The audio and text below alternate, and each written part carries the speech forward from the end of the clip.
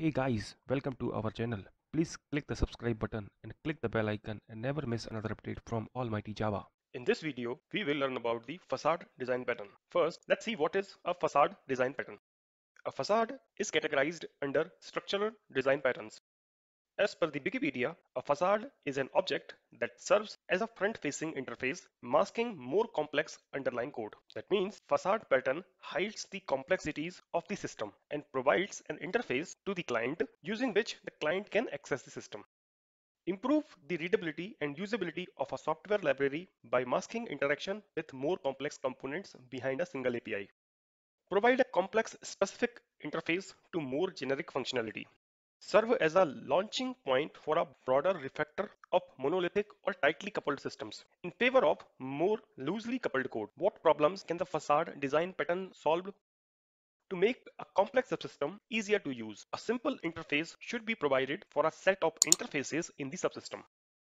The dependencies on a subsystem should be minimized Clients that access a complex subsystem directly refer to many different objects having different interfaces, which makes it the client hard to implement, change, test, and reuse. What solution does the facade design pattern describe? Define a facade object that implements a simple interface in terms of the interfaces in the subsystem and may perform additionally functionality before or after forwarding a request. This enables to work through a facade object to minimize the dependencies on a subsystem. Now, I think the facade design pattern you understood theoretically. Now, let's implement. It. Here, you can see I'm using IntelliJ IDEA. Don't worry, the code which I'm going to write, you can find from the GitHub and I'll give you the link in the description. As you can see from the package, we already implemented some of the design patterns. So for that, also I created a videos and that is available on YouTube. So you can watch videos, links in the description. So here, first, let's create a new package and package name, let's say the facade. Let's create a class and the class name, let's say facade design pattern.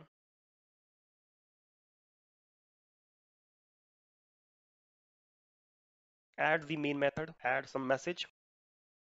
Let's run and see this message is printing or not. See, the message is printing. That means all setup is working properly. Now, let's start writing the code for the facade. As I said earlier, the facade pattern hides the complexities of the system and provides an interface to the client using which the client can access the system. So let's implement this with the help of one simple example. Let's create a class and the class name, let's say computer. Create some more classes like CPU, memory, and hard drive.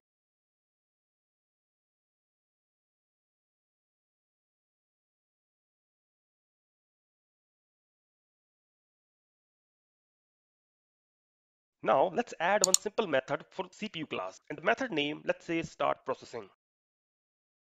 Here, I'm not putting any complex logic, just adding a simple print message. But in real-time scenario, this type of implementation will not be there. Instead of that, it should be a complex logic. But here, just to make it simple, let's add a simple message. Similarly, let's create one method for memory class. Here also add a simple message. Now let's add a simple method to the hard drive class. Here also add a simple message. Okay, for these three classes, basic implementation is done. As you can see, these three classes are computer related classes. So nobody is responsible for creating an object for these classes. Only computer class will be going to create the object. So basically from where object creation happens for all these three classes. Okay, so we will create the objects for these classes from the computer class default constructor. So first declare free reference variable for these three classes.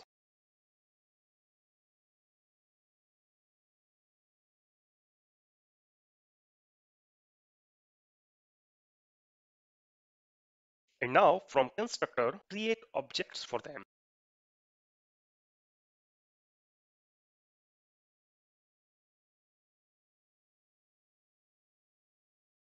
Okay, meaning of this code is like when the main method will create the computer class object, that time it will create the objects for these three classes also. Now let's create a new method and the method name, let's say start booting. And from inside this start booting method, add some message and call the required method.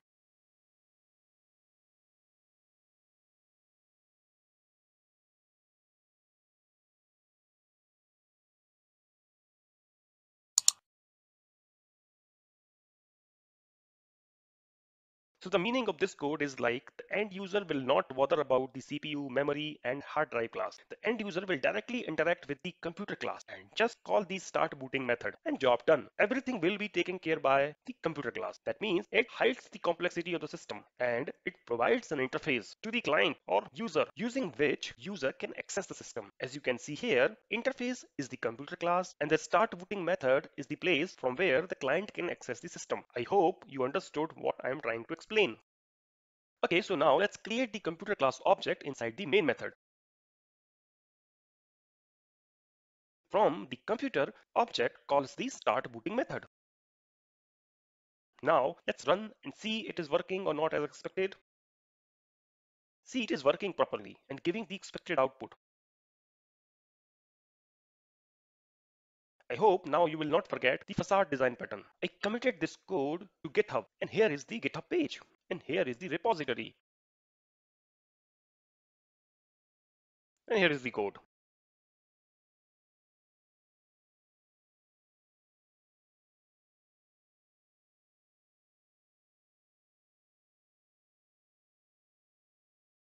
I hope you like this video, then please like. And if you haven't subscribed till now, then please subscribe. That's it for this video, and thanks for watching.